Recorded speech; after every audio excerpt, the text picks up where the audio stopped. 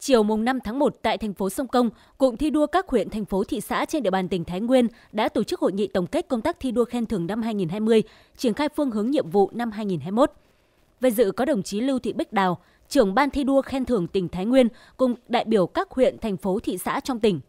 Năm 2020, mặc dù bị ảnh hưởng của dịch COVID-19, nhưng ngay từ đầu năm, các đơn vị thành viên trong cụm thi đua các huyện, thành phố, thị xã đã chủ động lãnh đạo chỉ đạo, tổ chức thực hiện các nhiệm vụ phát triển kinh tế xã hội theo kế hoạch tỉnh giao và phát động phong trào thi đua yêu nước trong bối cảnh ảnh hưởng của đại dịch.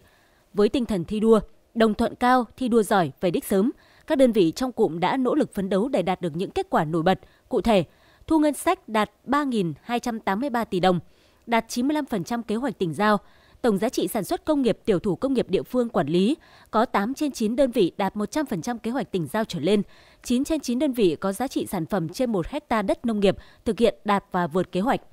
Thời gian tới, nhằm nâng cao hơn nữa hiệu quả công tác thi đua khen thưởng, cụm tập trung vào một số giải pháp như chú trọng nâng cao chất lượng các phong trào thi đua yêu nước, huy động mọi nguồn lực để hoàn thành tốt các mục tiêu nhiệm vụ của từng địa phương, cơ quan đơn vị, đẩy mạnh phong trào thi đua yêu nước gắn với chăm lo xây dựng, nhân rộng điển hình tiên tiến, ghi nhận động viên kịp thời những tập thể cá nhân có thành tích xuất sắc trong phong trào thi đua yêu nước.